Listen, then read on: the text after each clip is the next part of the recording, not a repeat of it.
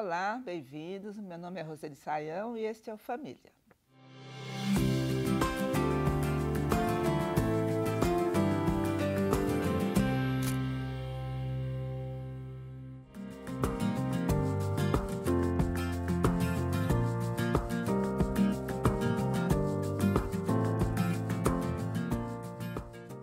Hoje nós vamos, eh, trouxemos a, a questão que a Maria nos enviou. Maria mora em Brasília e ela diz o seguinte: desconfio que meu filho seja homossexual. Como posso abordar o assunto com ele?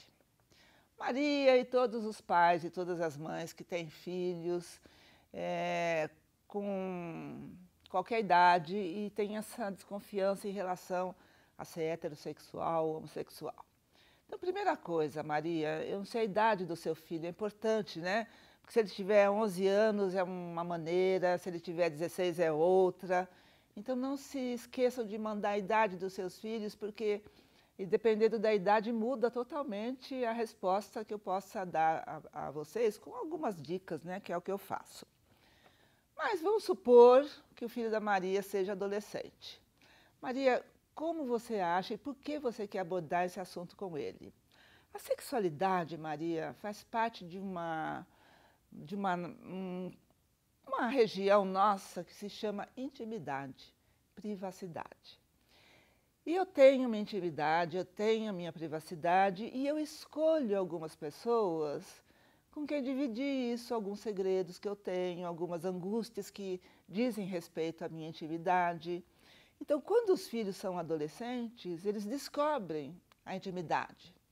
E é importantíssimo a gente saber a fronteira entre a intimidade e o convívio social, porque isso preserva a nossa imagem para a gente mesmo, nos dá mais segurança, mais tranquilidade. E os primeiros a ter de respeitar a intimidade do filho adolescente são os pais. Então você tem uma desconfiança, eu não sei se é desconfiança ou preocupação, e eu não sei também que tipo de conversa você quer ter com ele a esse respeito. Eu diria para você, se ele for de fato adolescente, calma. Deixa ele na intimidade dele. Se ele quiser compartilhar com você isso, ele vai encontrar uma maneira de compartilhar. Se você quiser, estiver muito angustiada, conversa com outro adulto a esse respeito, porque nem sempre os filhos se sentem, querem dizer isso para os pais.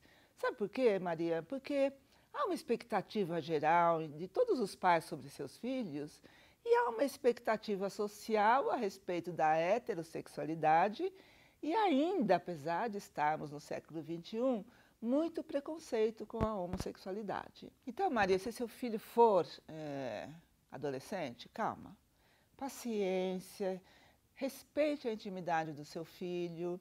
Se ele quiser compartilhar com você essa questão íntima da vida dele, ele vai encontrar uma maneira, ele vai achar um caminho, ele vai dar uma dica para você, às vezes direta, às vezes indireta. Se ele não quiser falar disso com você, respeite, Maria. Você provavelmente teve coisas com as quais você não quis compartilhar com seus pais.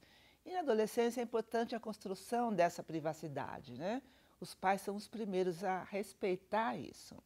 Não vamos confundir com abandono, né? Não, intimidade tem assuntos é, bem específicos que fazem parte da nossa intimidade.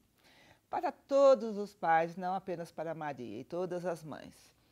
Se a, a desconfiança tem a ver com angústia e o tipo de conversa que vocês querem ter no sentido de orientar, orientar, principalmente se o filho for mais novo, eu peço assim, calma, gente, porque a, a sexualidade floresce na adolescência, a, da forma adulta, é claro, né? Na infância ela vem de outro jeito e não é uma escolha. Então é preciso que a gente seja muito forte por dois motivos: para respeitar a privacidade dos nossos filhos e para apoiá-lo, seja no que for. Por hoje é isso, agradeço a presença de vocês aqui. Lembro sempre que vocês podem mandar qualquer tipo de dúvida que diga a respeito à vida em família, aos filhos, no endereço que corre aí embaixo. Lembre-se de mandar a idade dos filhos, tá bom? A gente viu nessa questão da, que a Maria nos trouxe como é importante. Espero por vocês no nosso próximo encontro. Até lá!